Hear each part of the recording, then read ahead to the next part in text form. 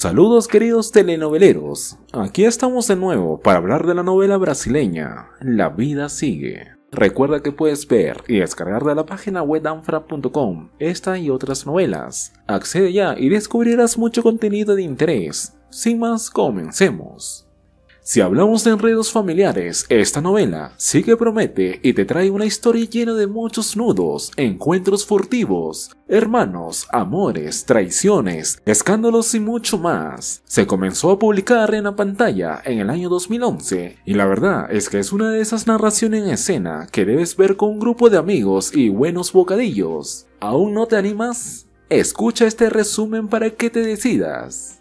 Todo comienza con Eva, una mujer que se casa con un hombre empresario y muy poderoso en esta área. Eva tiene dos hijas llamadas Ana y Manuela. Ana es una tenista que promete, con un gran talento y por eso su madre decide explotarlo al máximo. En cambio, Manuela siempre ha sido rechazada, pero posee un talento en lo culinario. Jonás, el importante empresario, también tiene dos hijos aparte, Rodrigo y Fernanda. Fernanda nunca estuvo en la unión de Eva con su papá, así que fue Rodrigo quien se crió con Ana y Manuela. El tiempo pasa y ambas hermanas crecen y hacen sus vidas. Ana se convierte en una gran tenista. Su entrenadora, Victoria, es muy estricta y junto a Eva hace un dúo perfecto para que no dejar que Ana realice su propia vida. Ana, buscando escapar de toda esta realidad, decide irse con unos amigos y su hermanastro Rodrigo de campamento, sin el permiso de su madre o de su entrenadora. En el campamento, el amor surge de inmediato entre los dos hermanastros, y es cuando comienza una desenfrenada pasión entre los dos, regresando a casa como novios. Mientras tanto, Eva descubre que Jonás, su esposo, la engaña y decide irse con su hija Manuela a otra casa. Vaya enredos.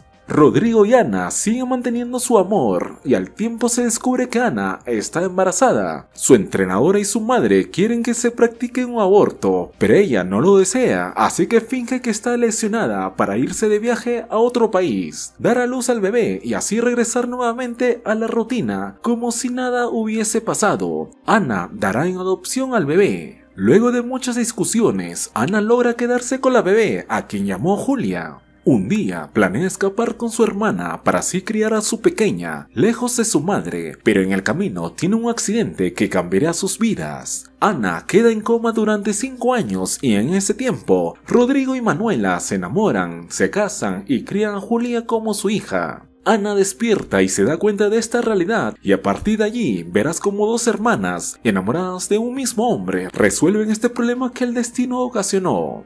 ¿Qué harías tú si fueras Ana y despertaras cinco años después? ¿Cuál sería tu enfoque? ¿Qué esperas que haga Manuela? Para responder a estas preguntas solo debes descargar los capítulos y con nosotros puedes hacer lo posible.